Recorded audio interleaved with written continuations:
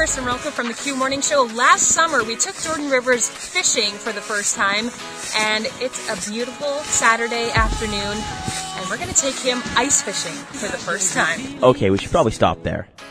I had never been ice fishing until this winter. For whatever reason in my mind, I thought I'd fall through the ice, no matter what, no matter how thick it was. Uh, to prove to me that I wouldn't fall through the ice, Kirsten Ralco took me onto the ice road a few days beforehand, and well, this happened.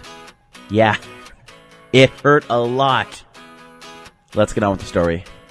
A few days later, Kirsten Ralco and myself hop into a truck with a few other lads, and we head out onto Lake of the Woods. Now, because I have no experience with any of the equipment, they didn't let me really do anything until the holes were drilled, shoveled, and we are ready to go. Kirsten Rolko from the Q Morning Show. I'm Jordan Rivers. We are here on Lake of the Woods, ice fishing for my very first time. We're actually quite far from Kenora. I've never actually been this far out. Yeah, it's your first time on the ice road, right? Yes. Okay, so we made it here. We have our holes drilled. What you have to do is bait a hook. Do you know how to do that? We did it in the summer with leeches. Leeches. That's right. So we're using minnows right now. Okay. So I'm going to let you bait my hook. And why don't you just dip your hand in there? And grab a minnow. Yeah, The water's cold, believe it or it's not. very cold.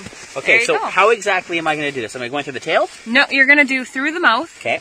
out the gill, Out and in the, gill? stomach.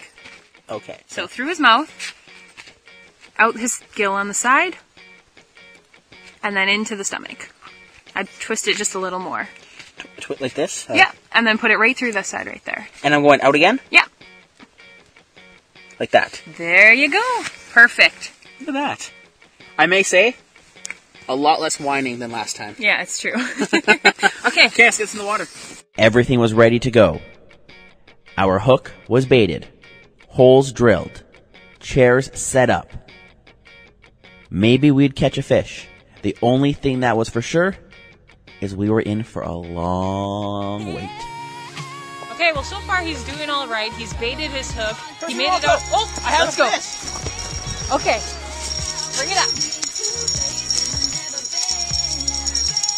Are you excited? Super excited. Look at that. Whoa!